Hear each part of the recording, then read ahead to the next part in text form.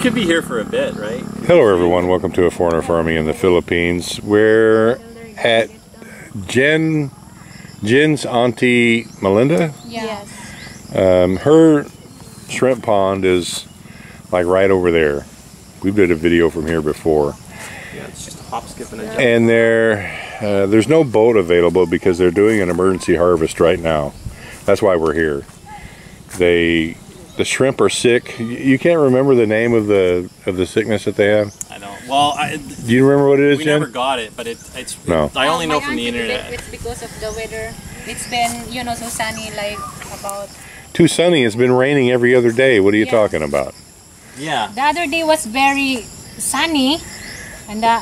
One day out of 15 Yeah, made the shrimp sick? I don't think so. I don't think so.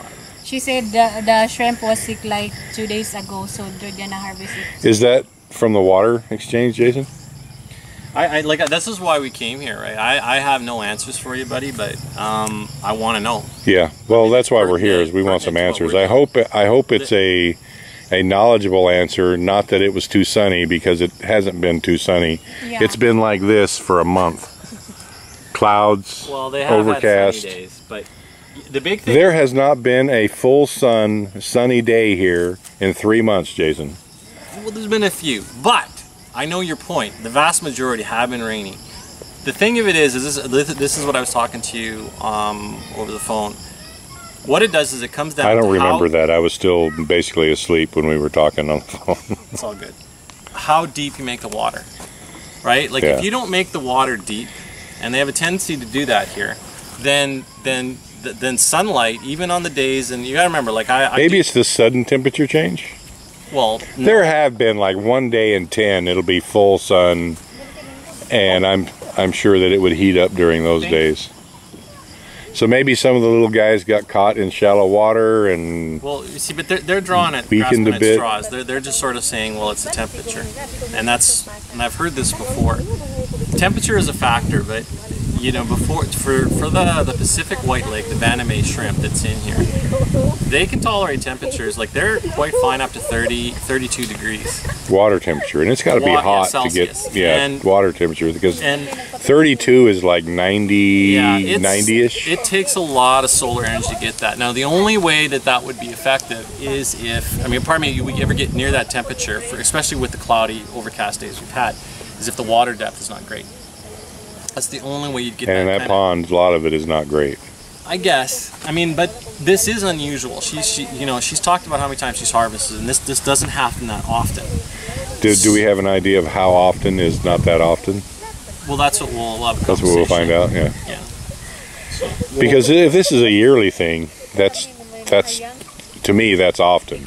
Well, this if this is the third time in eight years, then that's what I would call not too often. Okay, fair enough. And we'll, we'll, we'll my understanding is it's, along those lines. I don't know the exact amount of times that it's happened. But right. the other thing is, um, this is known as like this is sort of prime time for, for shrimp because it isn't so like it's it is generally cooler and overcast, Uh, and um, it's the like you know so you know many how of it's odd here like summer summer like August July August is not the hottest. It's the hottest time here is March and April like that. yeah, the, February, March, spring. April, May. Yeah. Yeah, which is the hot. That's the absolute hottest time in the film. Yeah. Well, in the Visayas, anyways, guys. Um, that's when it's like you got to be really watchful that. But if you had two meters of water, like it takes an intense and and 34 degrees is when they really get where you got a problem. That's where they start shutting down. To get two meters of water to 34 degrees Celsius. Yeah, down at the bottom. That takes a hell of a lot of solar energy. A hell of a lot. Is it impossible? No, and it happens. But it is. It takes a lot. It takes a lot because I can I can remember even getting into a swimming pool in Vegas where it's six feet deep and the water down at the bottom at your feet is nice and, and that's cool. where the shrimp are. They're down at the bottom. I was gonna say, oh, I felt water this thirty. You know, like what are you gonna say? It's that's that's in the low 90s. well, hopefully we'll get some answers and uh, Yeah. they'll be good ones. Bye. Well, we found a ride, sort of, Tomorrow. and there's about oh I don't know one inch of gunwale there before Jason and Jen begin swimming. Well, the waves are light today. Channels going on here. So we're in the boat. We've got tons of room. I don't know what the for. Uh, everybody's telling me my swimming. Can you swim, Jen? I can, but I don't know. I don't know how to swim. All right, well, our chariot has arrived, and I'm thinking just me, Okay, bye. And even just me in this little boat. I don't know. I'm praying to Jesus.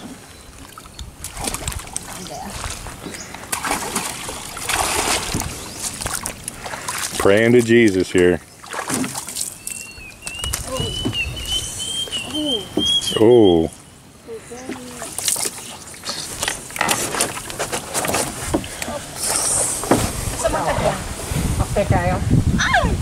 Ay.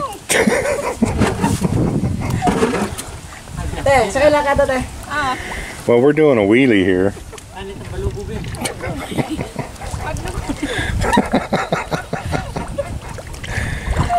Pray for us, Jane.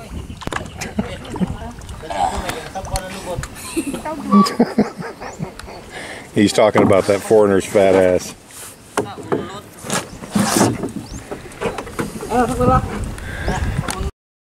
Symptoms of ammonia poisoning.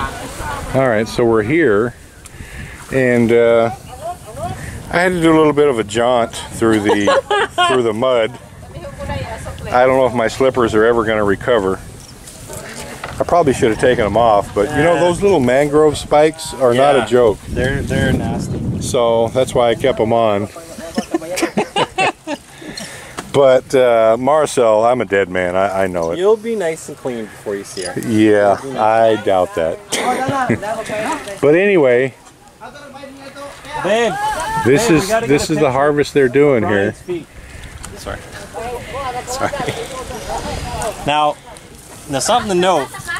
You notice, so like just on the base of shore, a bit of that green. That's the That's the algae. Yeah, yeah. yeah, yeah, yeah. the- the- sorry, what's uh, uh La- Lamont Lamont uh, La motte. Lamotte. So It's like French and a moat. La motte. Lamotte. Exactly. So you can just see tinges of it. This whole basin was covered in that stuff. So that's how much they ate. So they were So they had plenty of food for another two months, right? Four weeks. okay. You're gonna make me cry here because those are some big fish. For four weeks, yeah. I mean, those are growing faster than what ours did on commercial feed. Correct. And not, I mean that's. And the big thing is, is That's ask- eight eight ask per them, kilo. Yes. Ask them how much it, how much they spent on feed. Yeah, big Voila. fat big fat goose egg. Voila. Yeah. Zero. Brian, I like your very expensive socks. Thank you, ma'am. oh You, my goodness. Hala. Dapaw. Oh my goodness. Well, I know I got the intro to our video now. Oh, look at this guy. no, no, no, no. yeah, I'm not gonna walk in there to clean my feet off. of this guy. Look, yeah. As you can see, the muck is pretty deep. That's that's the muck that this guy's going through. Brian, I'm gonna look at, get a little bit. Pardon me, I'm gonna go in your shot.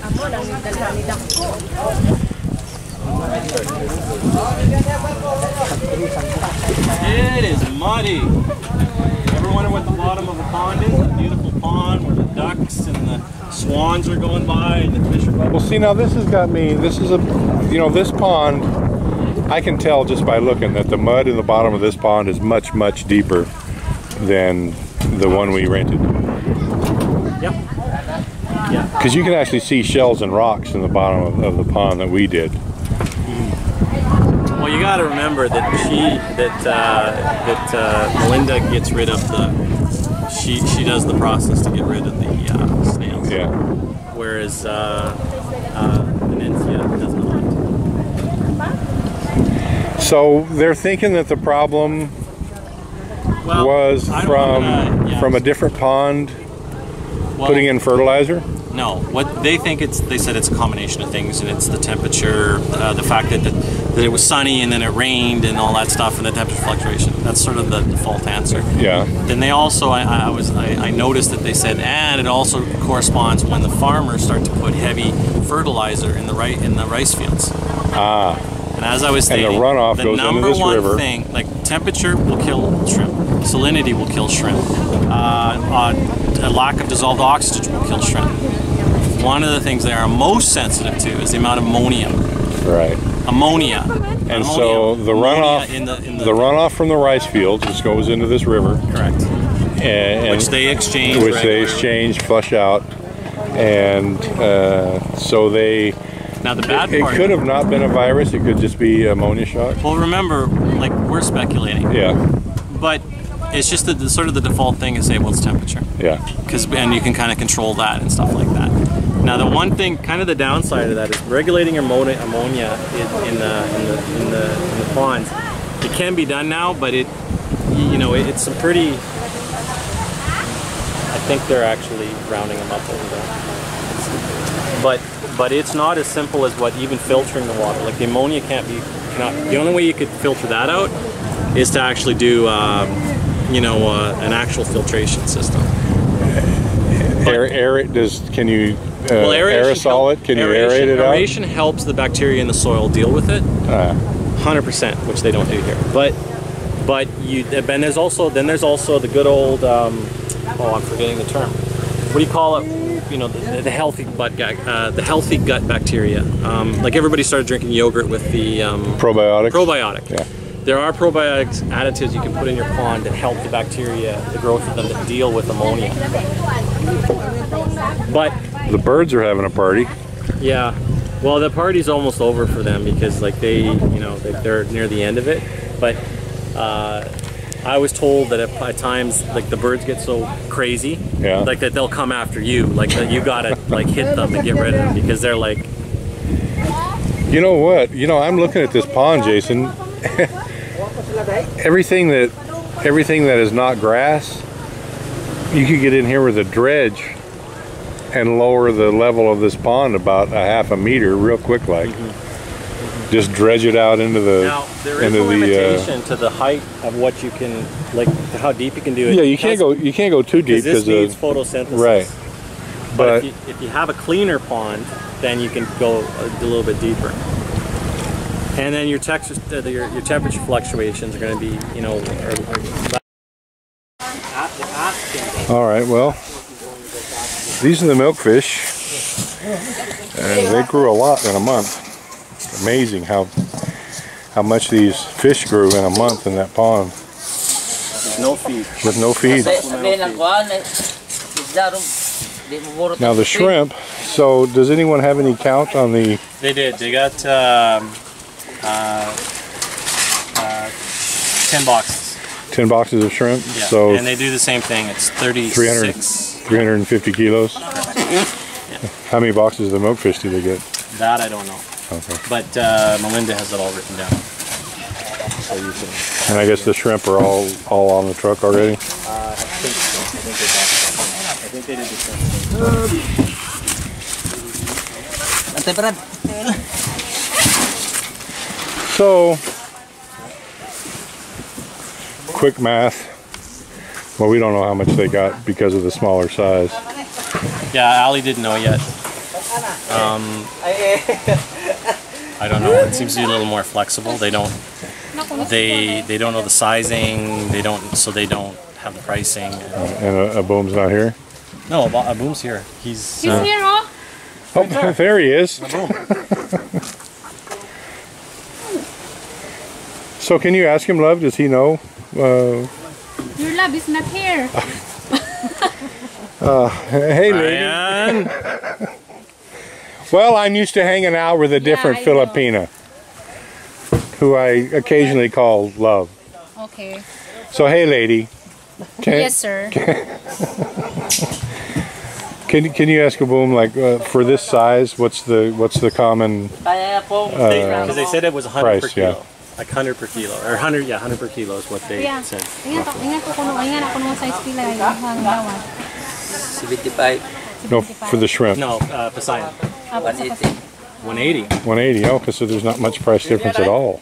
Still a lot. Holy crow. Yeah. So if they were the larger, if they were this a boom, only, still only 200? Kung mutimba nag mga 35 ka po. Katong para kada kon sa niya agi. Maybe prices are going up. I don't know. Banami. Bait ko ato 280. Kanang mo sa 35 kilo, 30. Uh, for uh 35 to 40 in a 1 kilo, that's 280. So 35 to 40 per kilo is 280. But what they commonly harvest here is 50 to 60. So what's the price on those? Yeah. Well, well, first, first, first, wait, wait. So what size is he calling the ones that they harvested now? 90 to 100. 90 to 100. Okay, and so they commonly harvest 50 to 60, right? So what's the what's the normal price on 50 to 60? Ah, Which is what they would normally harvest, correct? Yeah. yeah. harvest ka 50 to 60 50 to 60 ako palit. 30. to 30. 230. Yeah, so prices are going up a little bit. Okay, well that's a good thing. Atong 29 daw ng hindi pa sa talibon. Ako palit ya 60 65 300 atong sa 29. So 350 kilos. You, maybe your math is working better than mine. 350 at 180. 180. Uh, that's like six, That's like 70k. 670. Yeah. Like 70k? No, no, no. You lose a zero. No, it's more than 7,000 pesos. No, 60. Yeah, it's 67,000. Yeah. No, 67,000. No, 600. I thought you said six, 670. No, I said 70. Oh, 60 or 70. Yeah, yeah, yeah. So I was like, So, and how many boxes of milkfish did they get? uh, like I said, but that'll be written down. We can add that later. But I don't wanna hey, you know, 70k, and maybe they get another five, 10,000 pesos for the. But that's in a month. Yeah, that's in a month. That's 80k, and just say, And just this is an emergency. 80 They didn't want to do it. right. They, So 80k, and they're into it zero. well, no. Well, uh, no, they're into it the cost of the fry, Yeah. And they did harvest the whole fry. and so they put in 70,000 And so divide that by four. uh, 27. Yeah, roughly. Divide it by four, so Is that uh, like 17,000? 16,000? just say 20,000 with Okay, the call it milkfish. 20. Yeah. So 50 grand. So yeah, 50, 60 net in a month But then with no. again, they do have the cost. No cost of the harvest, all that, right. Yeah. Well, say 50. Just say I don't think. I think. I think a bomb. One of the reasons why it's popular is a bomb does do provides the crew. provides the yeah. crew, and that's why a lot And of the guys roll with him. I guess. Yeah, he must because Yeah. I know Melinda did it with the ice. I asked her. earlier. You missed the the native chicken absconded with a little tiny. A shrimp. Yeah. well, no, not a shrimp, but uh, an actual bang. It's about that big. small fish. Well, Yeah, good on you, guy- buddy.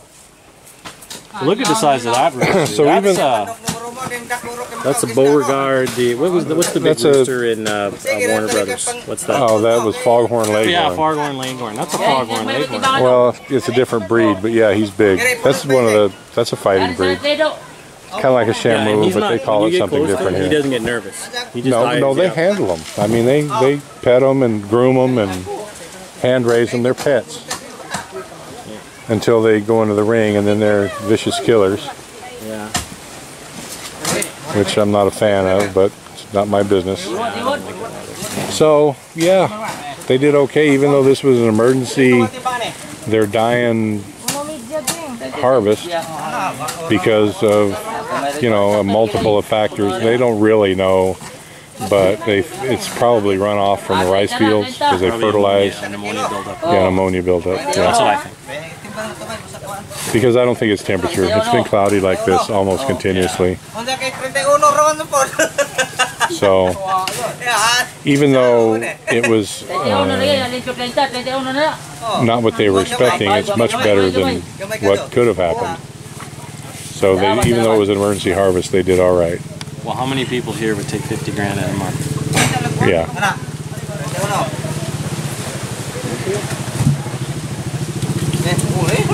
Thank you, everyone. Please like, comment, share, and subscribe.